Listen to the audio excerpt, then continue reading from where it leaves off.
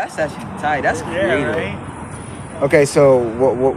So I'm doing a little video. So what was the drawing?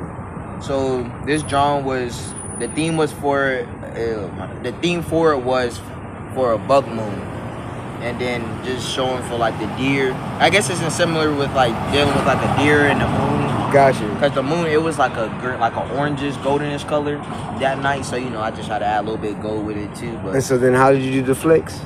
Oh, I just got like the brush, uh, put it in the white, and then like like he said, like dab it off a little bit, and then Flickered it like Yeah. a lighter, like kind of like a lighter. You would do just yeah, yeah, rub sir. your throw I, I made sure I made sure I like painted the blue first, and then Got that's you. when I facts. did it, and that's when I did the rest. Word.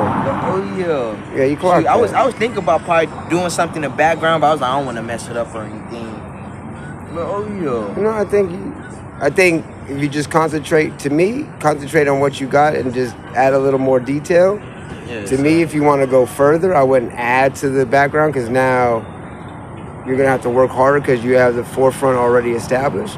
So I, you know, you could, Oh, yeah, or, I was thinking, or like- just outline it a little bit and was- not make it look so symmetrical. I was trying to do that with the brush because like when I was painting, I was trying to like spin the brush on it so it could create like a little mini circle, but it was it. like I don't know, it was it, was, was like a little color. yeah yeah a little Yeah. bit. It But was like shady. a little I like hard. the shady.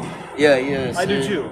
Yeah, it was- yeah. Yeah, it was the lady she had. She had told me um because whenever I did it, I It used the the cup. No, Miss Miss Megan. Oh, Miss yeah, Megan, Miss okay. Megan. She because I had used the cup and you know I just drew around it so it looked right. like a circle. So she was like, uh, like a for advice, um, And everybody wants to know who this is. oh yeah, this is Bobo, this is Bo man, my right hand man. Okay, cool. But he's everyone's right hand man. Word, word.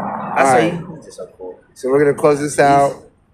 I think it looks fantastic, James. Yes, it looks good. Boom.